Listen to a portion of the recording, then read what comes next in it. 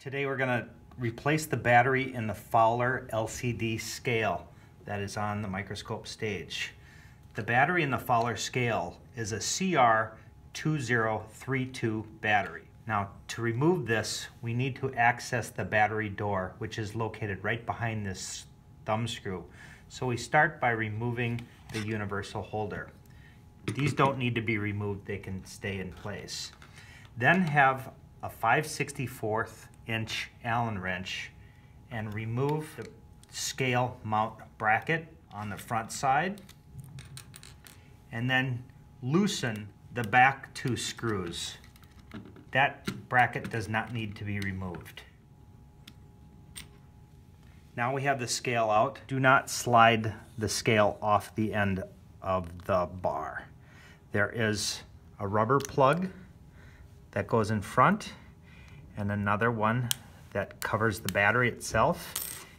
I am using a small knife to pick that little rubber plug out. That one is moon shaped.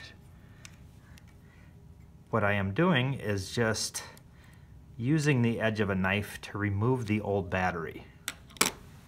Now what I'll do is take and pop the new battery out and plus side up negative or the button side away, it goes in the back slot.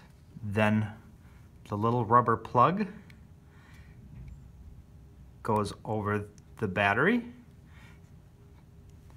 And then the front rubber plug goes over that. And then it's just a matter of reversing the process to reinstall the scale. Insert the scale into the back and then get the tall thumb screw in the notch and then replace the clamp.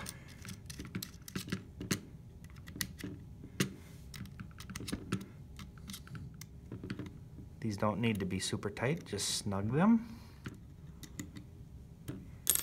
And then you can put your universal holder back under the thumb screws.